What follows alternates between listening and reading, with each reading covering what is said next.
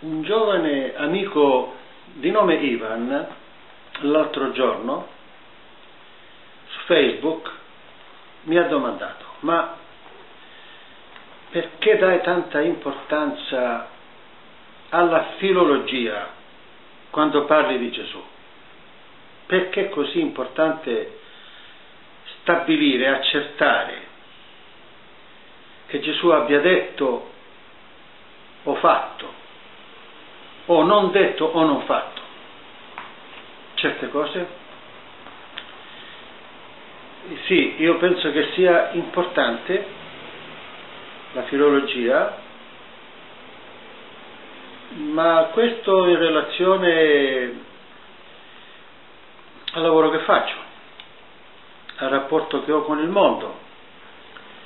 Ehm, io cerco di comprendere cosa diavolo sta succedendo in questi anni, investiti da una grande crisi di civiltà,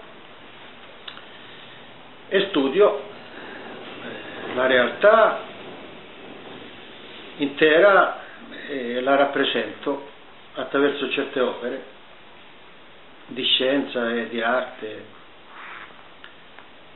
Fra gli autori che mi interessano, mi hanno interessato da sempre, c'è appunto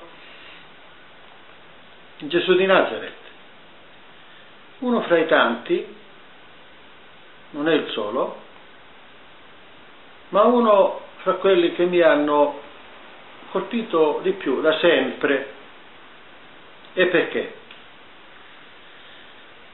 Beh, uno degli elementi propri di questo mondo in crisi è la persistenza di certe strutture di potere, di certe forme di organizzazione che conservano la divisione fra capi e gregari, fra governanti e governati, fra dirigenti e diretti, strutture verticistiche che tendono a mantenere i diretti in una condizione di obbedienza, di fedeltà, di passività, esecutori di idee pensate da altri.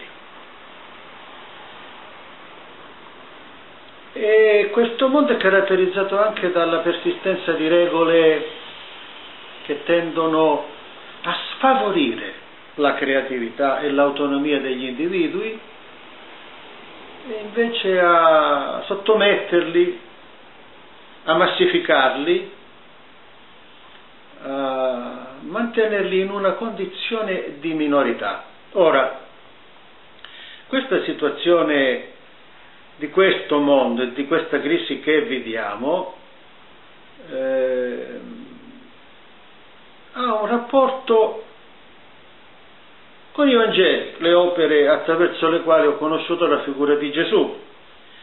Dentro i Vangeli però, ecco questo è il problema che mi accompagna dalla giovinezza, ci sono alcune frasi dette da Gesù e alcuni gesti compiuti da Gesù che indicano la possibilità e la necessità di un mondo di uomini creativi e autonomi e indicano la possibilità e la necessità di strutture di associazioni non verticistiche e non burocratiche e, e altre frasi e altri gesti che sembrano invece spingere nella direzione contraria. Nei Vangeli ci sono due Gesù. E allora cercare di distinguerli questi due, cercare di distinguere Gesù di Nazareth, la figura storica e la figura ideologica, Gesù il Cristo, è importante.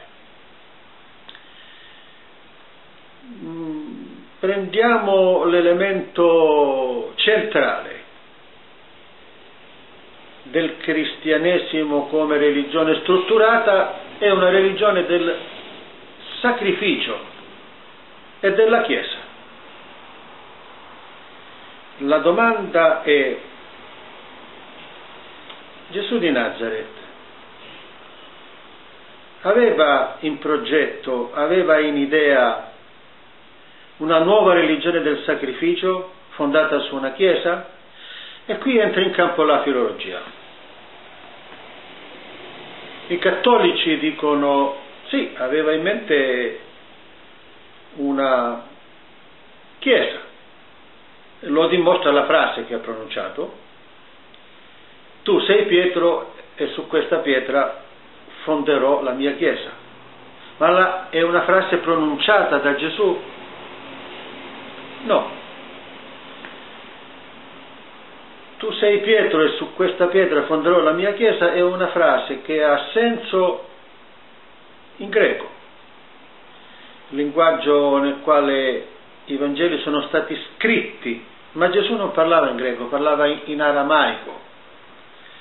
Quindi lui non può aver pronunciato questa frase. Questa frase è stata attribuita a Gesù dai seguaci, dai discepoli, dagli evangelisti, da coloro appunto che lo confondevano con Gesù il Cristo. E l'idea di una religione fondata sul sacrificio? Anche questa non è fondata. Facciamo filologia non di una frase non detta da Gesù, ma di un gesto compiuto da Gesù erroneamente interpretato dai cristiani. Gesù scaccia i mercanti dal Tempio i cristiani interpretano questo come un atto morale, moralistico, liberare i dintorni del Tempio dai venditori, da coloro che sono interessati al guadagno.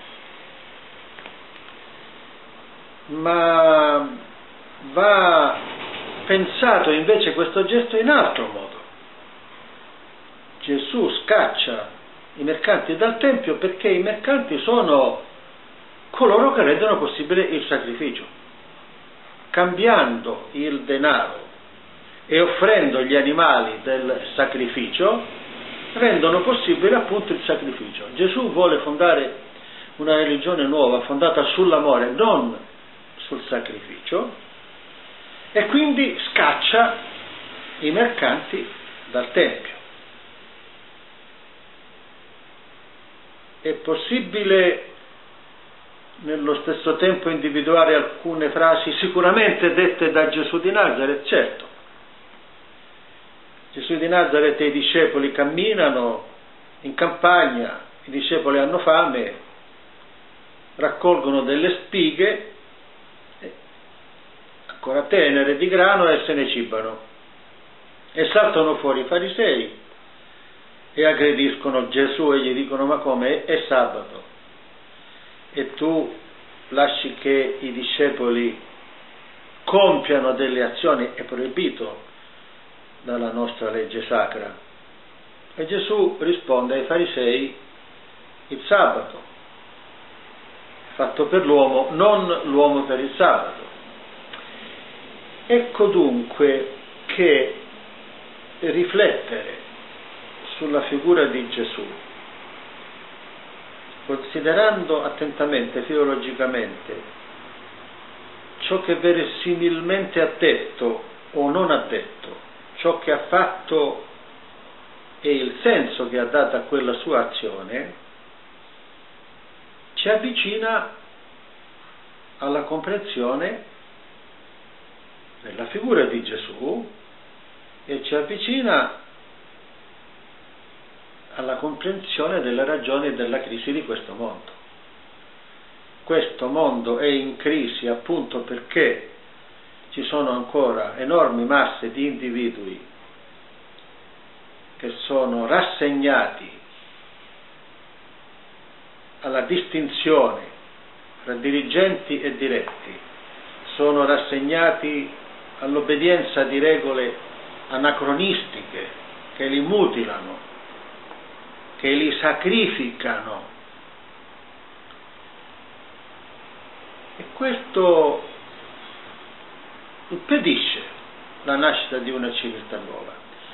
Quindi occuparsi così tanto e così in profondità di questioni filologiche non è una eh, inclinazione accademica, ma è un modo di affrontare la conoscenza della realtà così com'è, come può diventare e riscoprire figure che questa rappresentazione possibile nuova del mondo l'hanno già anticipata. Eh, Gesù è uno di questi e va ripensato, riconsiderato, restaurato come una delle figure del nuovo mondo.